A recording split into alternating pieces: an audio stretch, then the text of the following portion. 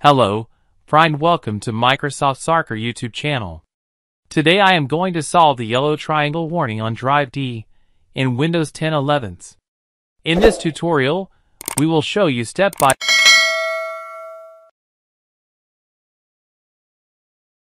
Click on the Start menu type for searching CMD.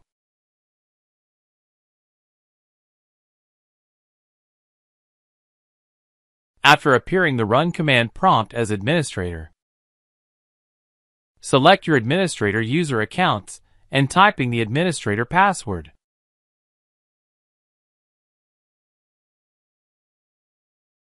Open the new window. Then type the following command and press enter. Manage BDE off, replace D with the drive letter of any other drive if you want to disable BitLocker for it.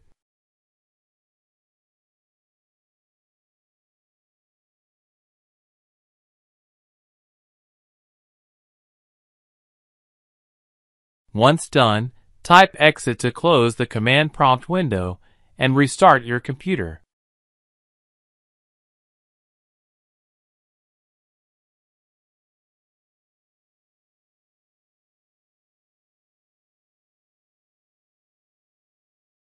See this is your yellow triangle warning on Drive D which is solved into your this PC Windows thanks.